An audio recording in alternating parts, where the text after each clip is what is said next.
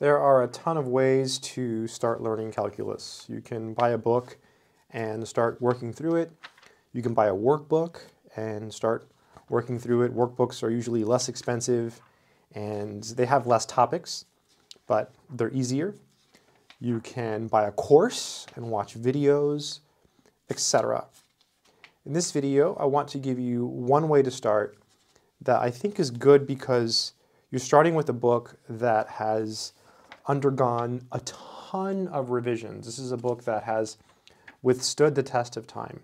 Not only that, this is a book that you're probably not using in your calculus class. Most classes, at least in the US, most college level classes use books like the one by Stewart, which is a great book, or the one by Larson, which I've used to actually teach college classes, Calc 1, Calc 2, and Calc 3, using the Larson book. But this is a book that was recommended to me a long time ago. It's been a while, it's been a few years now, from subscribers here on the channel, in particular people from India. Uh, they mentioned that this was a book that they used. And so I went online and I did some research and I found it. And I ended up getting various copies of this book. I actually have like three different versions. So this book is awesome. And it is the one by Thomas. It's called actually Thomas Calculus. So the author's name is in the title, right? So it's Thomas Calculus. It's the 13th edition, and it's written by Weir and Hass, so basically revised by these people. Let me show you what I mean by that. So it's based on the work by George B. Thomas, MIT, Massachusetts Institute of Technology, as revised by, and these people here revised it with the assistance of Christopher Heil. So it's a book that's withstood the test of time. There are major differences in newer versions of this book compared to older versions. In particular, a lot of the used versions, a lot of the older copies, have answers to all of the exercises, whereas this one has answers to only the odd numbered exercises.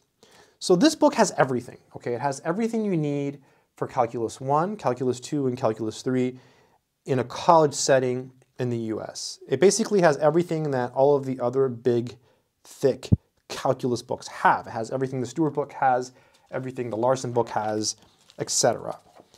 What makes it special, I guess, is that it's based on the work by George B. Thomas. It's an older book, um, which was published a long time ago, and it somehow withstood the test of time, which is really cool. It has really good exercises, really good explanations, and the explanations, in some sense, they've been improved. At least that's the intent. Um, the differences I've noticed between this book and, and the original ones are that sometimes certain problems uh, or topics were left out, and this one has additions to it that weren't in the old book. So there are distinct differences, and honestly, I think both books are good. I'm not going to say that the new one is worse, um, and I'm not going to say it's a, a lot better. I'm just going to say it's different, and it's good, and it's worth having newer editions and older. So I'll, I'll leave a link in the description so you can check out this book if you want to. But look at all these examples. So this is uh, 2.6, limits involving infinity. And so they start by giving you the actual rigorous definition, right? So they, they're, they're not just watering it down or anything with the updates. It's still a calculus book, right? This is a real calculus book. You're getting real mathematics here. Then they have some examples, and you can see these examples are proofs with the definition. So it's not like the newer editions, you know, water down the material or anything. No, no, no. Uh, the rigor is maintained uh, in many places. And then you see more examples here. Really nice example here. Look at this one. It's got an absolute value. That's, that's pretty cool. So there's a lot of things, and it's little stuff like this throughout the book that I think make this book special. You get examples that you don't see in other books. And that's why I want to recommend this one, because you're probably using one of those other ones by Stewart or by Larson. So this one's going to give you uh, a different perspective on the subject and different exercises too. This one has answers to all of the odd numbered problems in the back of the book. Look at all of these examples.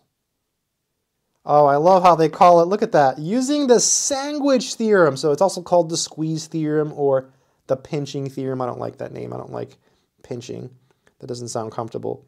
Oblique asymptotes, which are also called slant asymptotes. You're asked to find one there. Pretty cool. Uh, a rational function will have an oblique asymptote when when the degree is exactly one higher. So see how the degree in the numerator is 2 and the degree is 1. The degree is the biggest exponent. So here's 2 and here's 1. So whenever that happens, you can use long division and find the oblique asymptote. And you can see here, it even explains it. As x approaches plus or minus infinity, the remainder, whose magnitude gives the vertical distance between the graphs of f and g, goes to 0, making the slanted line, boom, the oblique asymptote or the slant asymptote. So it explains really well. It's a really good calculus book. Is it perfect? No.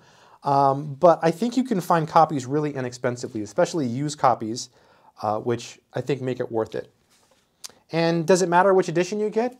I, I don't think so. I just, I, I, my, my advice would be get a copy that is inexpensive, you know. Um, you'll probably find less typos in newer editions and less mistakes. Um, I think I might have found a mistake in one of the older editions I have. It's like a really old one where the pages are yellowing. I haven't seen any errors uh, in this particular edition. This one's the 13th. And again, I'll leave a link or two in the description to various used copies. And I would just recommend getting, getting a used copy, right? A used copy or a new one if you want of this great book. And how do you use this book? Well, so you have a calculus book and you want to learn calculus. So my advice was would be to try to do, you know, a little bit every day, right? At least one problem a day. If you're already learning calculus, um, you can easily, easily, easily find what you're learning in the book by looking in the contents. Let me just show you the contents really quick. I forgot to show you. So functions, it's, it's the basic stuff, right? It's all the stuff that you would typically see in a calculus class. So it's all the same topics. The order is very similar. I mean, look, application, it's just, you know, boilerplate, as they say.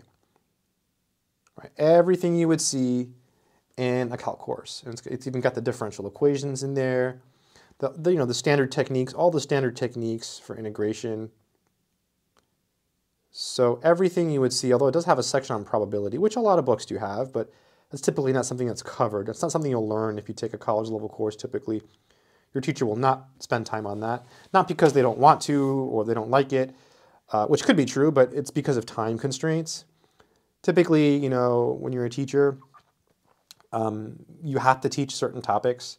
So your goal is to um, cover those topics. Yeah, integrals and vector fields. This is Calc 3 stuff. And then second order DE is typically not covered.